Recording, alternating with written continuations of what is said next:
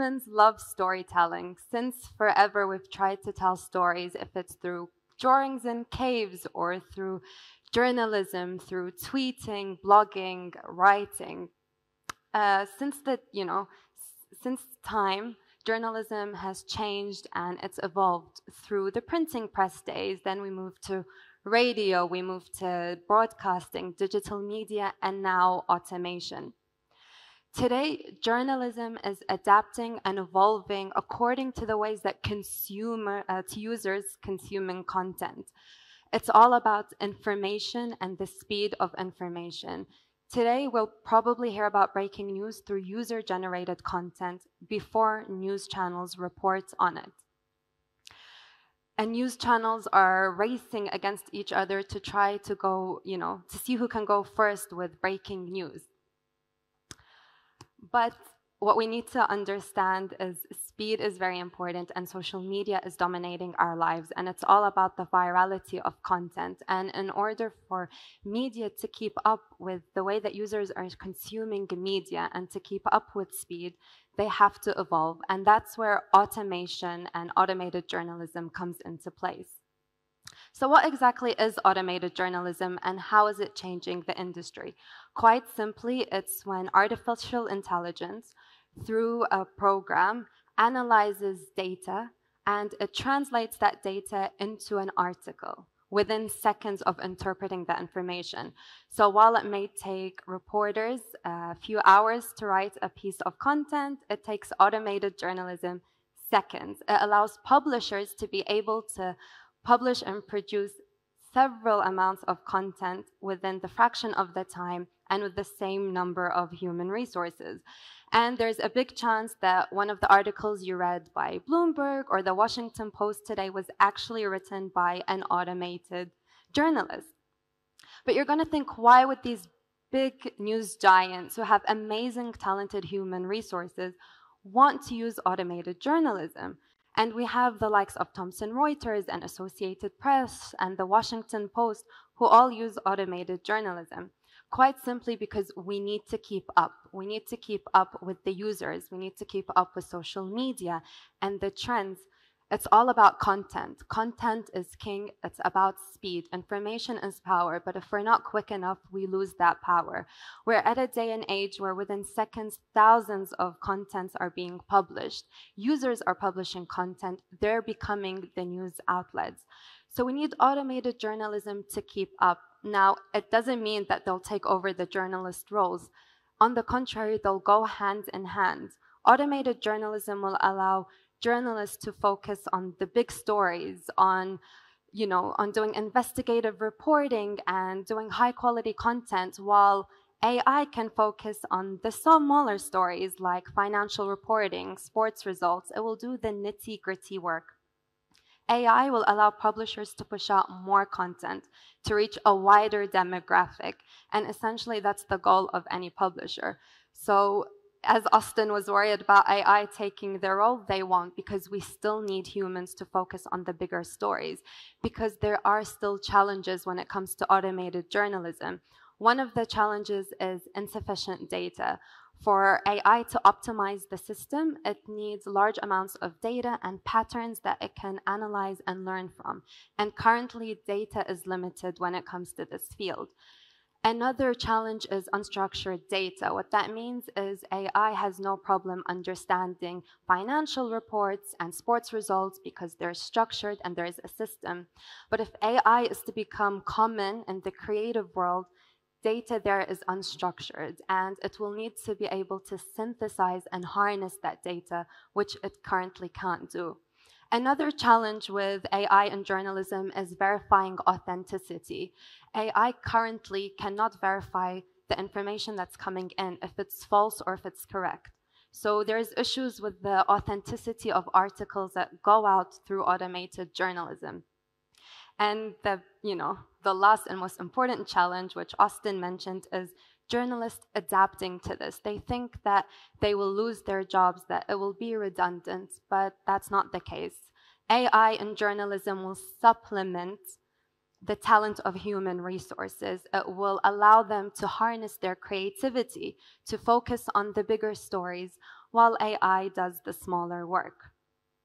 Now, on a fun note, did you know that since 2019, a third of the content published by Bloomberg was done through automation? And Associated Press, they went from publishing 300 quarterly reports on companies in the US to publishing 4,000. That's tenfold of what they were doing through the help of automation. Now, is this playing? I want to show you the future of journalism, something that's very exciting, but not playing. I will keep you guys anticipated to see what I have prepared for you. see, that's why we need automation and AI. okay, it's fine. No worries. Okay. So we looked at automation and journalism and the technical advancements. But let's sort of take a look at the state of journalism in the Arab world. There's been a big shift in journalism in this region since 2011.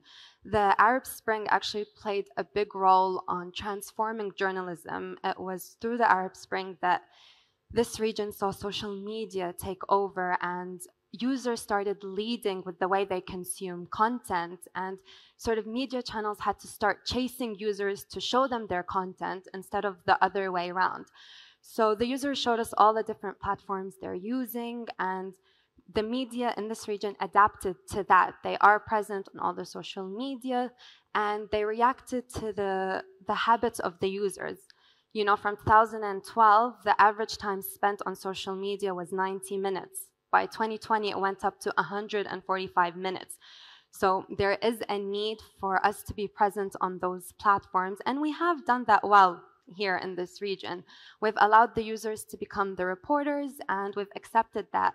But in terms of technology and AI, automated journalism, we aren't quite there yet. Um, when we compare ourselves to our international counterparts, we do have some way to, to catch up to them. But the challenges with the current media mediums available in this region are inauthenticity and fake news and the misspread of fake news within seconds. The amount of times my mom comes to me to show me a piece of news she got on WhatsApp, and I have to tell her, you cannot believe everything that's shared on WhatsApp or Facebook. You have to go to trusted sources, authentic sources, and this is an issue that we see in this region. Fake news you know a lot of misspread of information. The media scene is very cluttered. There's a lot of publishers. There's a lot of outlets but it's very messy. It's very cluttered. We want the news but sometimes it's very hard to get the news and to sort of glide through the mess. And that's why news aggregators have played a role in this industry. They've become a positive platform. You know, we have the likes of Nabd, which has over 31 million users and an average spent time of 23 minutes, simply because users want this. They want a platform that's centralized. They want a platform that's unbiased, meaning that news aggregators don't pick and choose which publishers will be on their platform. They provide a centralized platform with all the news, but the key here is personalization. Users want to personalize the content that they want to receive. That's why we choose who we follow on social media. We choose who we want to see and the content that we want to see from the people we like. It's the same with news. I have my preferences. So, news aggregators provide that platform that's unbiased, that allows me to choose the content that I want that provides diversity and that's centralized. We also have very successful news aggregators internationally like Flipboard and Smart News. So as we look onto the future and we talk about predictions and it's all about technology and automation, you know, robot journalists, the video I wanted to show you was of a robot journalist, but he looks completely human and he might sit alongside our journalists we'll see augmented reality in storytelling and in reports and automated verification, which means in a world where misinformation is spread so fast, Automated, automated verification will assist journalists in verifying information in seconds. We're going to have millennial reporters because millennials are a big part of the Arab population and they're casual, they're cool. We're going to see less serious reporters and more casual reporters. We're going to see automated translation, talk about 5G and 6G and beyond. But the thing to remember here is that technolo technology will assist us. It will enhance this industry, will make our lives easier. It will assist journalists, but we shouldn't forget the human touch, the human emotion. Uh, if Sophia the robot was up here presenting, I don't think you would have enjoyed it as much. We love storytelling. We love to share our thoughts. We love to share our emotions.